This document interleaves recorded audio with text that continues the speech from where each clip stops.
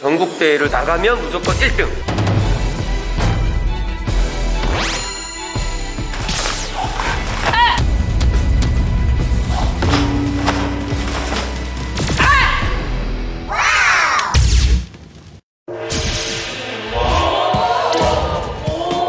아저씨 조금만 뒤로 가셔야 돼요. 뭘? 어, 너.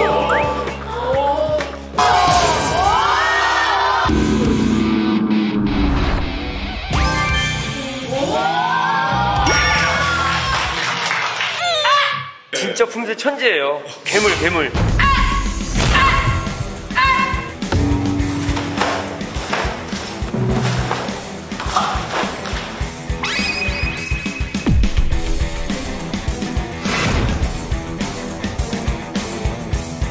품새를 할 때 도복에서 팍 이런 소리랑 립스틱 할때슉막 이런 소리라든지 이런 게 되게 즐겁거든요.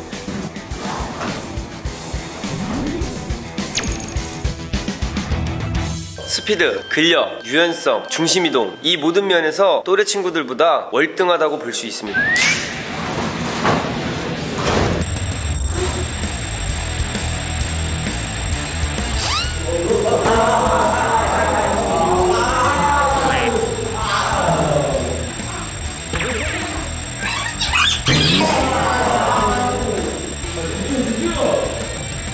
아 평소보다 잘 못 버텼습니다.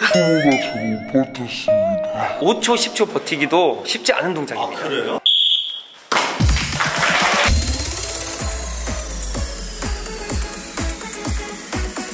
오예. 잘하네요. 청출 어람입니다.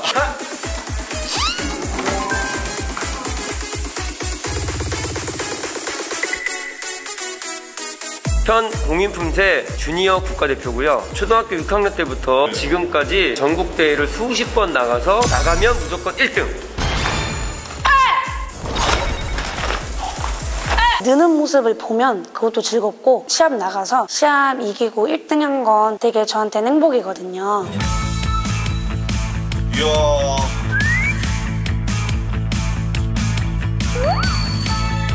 여기도 좀 많아요. 아이고. 아 이거는 좀 저한테 특별한 메달인데 네. 이번에 고양시에서 열린 네. 세계 품새 선수권 대회에서 딴 네. 메달이에요. 제가 그동안 힘들게 운동해온 결과에 대한 보다 선물이라고 아, 생각해요. 선물. 더? 따고 싶어요. 그냥 저 방을 전체 도배할 수 있을 만큼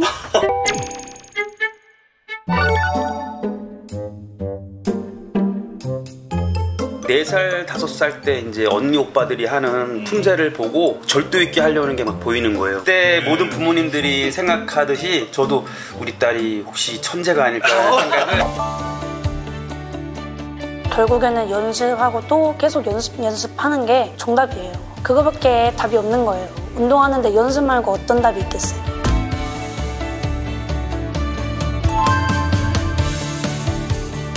힘들어도 어쨌든 이건 저를 위한 운동이니까 인상 찌푸리거나 부정적인 생각은 안 하고 긍정적인 생각하면서 웃으면서 하려고 합니다. 공인품새는 조금 진지하게 해야 되는데 이건 좀 더 즐기면서 할 수 있어요. 그래서 저한테도 좀 더 즐겁고 새로운 경험인 것 같아요. 제가 계속 해오던 공인품새도 좀 더 열심히 하고 새로 시작한 자유품새도 더 열심히 해서 모든 분야에서 세계 최고가 되도록 노력하겠습니다.